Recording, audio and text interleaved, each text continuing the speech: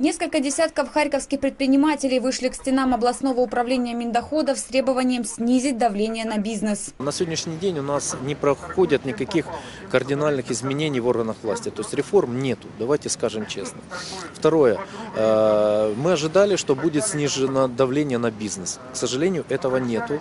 Более того, оно даже усиляется, потому что э, в государстве существуют проблемы с наполнением бюджета, поэтому э, на сегодняшний день налоговая является репрессивным органом, который позволяет надавить на бизнес и пополнить бюджет.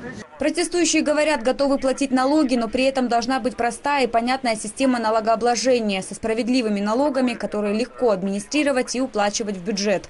Предприниматели требуют прекратить коррупцию сократить количество проверок малого и среднего бизнеса, которые к концу года только усиливаются. Кроме этого, нужно не забывать, что у нас, э, понятное дело, что есть случаи, когда решение этих проблем э, выходит из правового поля. То есть тупо э, путем договоренности между предпринимателем и проверяющими.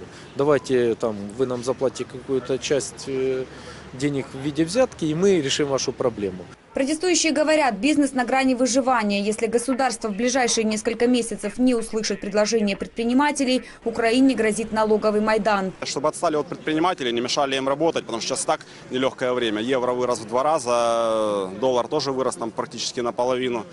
У людей, у предпринимателей в частности, усложняется жизнь, а проверяющие органы ее только усугубляют. Представители малого и среднего бизнеса составили резолюцию пикета, где изложили все свои требования. Документ передали в налоговую. Если есть какие-то факты, мы готовы их рассмотреть. Возможно, будут какие-то предложенные действия в рамках работы этой инициативной группы. То есть по итогу этих мероприятий мы изложим и нашу позицию, и выслушаем, и, естественно, будут приняты какие-то меры. Совместно с ассоциацией.